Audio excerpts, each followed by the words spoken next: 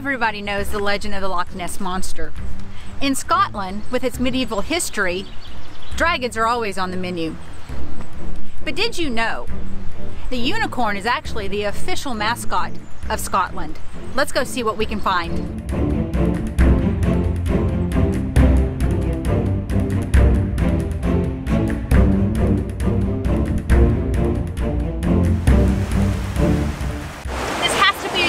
Watering hole.